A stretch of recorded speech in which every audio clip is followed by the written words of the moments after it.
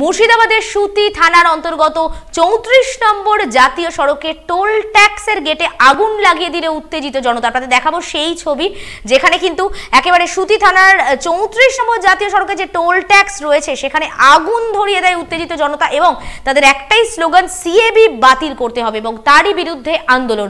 এই আগুন ধরানোর জেরে রীতিমতো বিধ্বস্ত হয়ে পড়ে সেই সমস্ত মানে সেই এলাকা দিয়ে যান চলাচল। আপনারা দেখছেন সেই ছবি, যেখানে কিন্তু ক্রমাগত ভয়ঙ্কর চেহারা নিচ্ছে পশ্চিমবঙ্গের বিভিন্ন জেলায় জেলায়।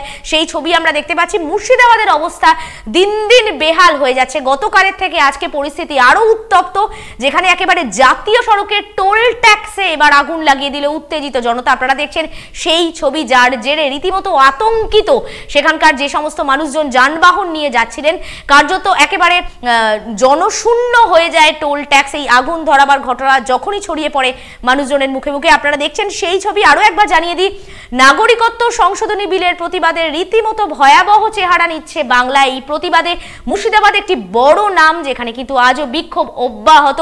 জাতীয় সড়কের টোল ট্যাক্সে বিক্ষুব্ধ জনতা, লাগিয়ে দিল আগুন।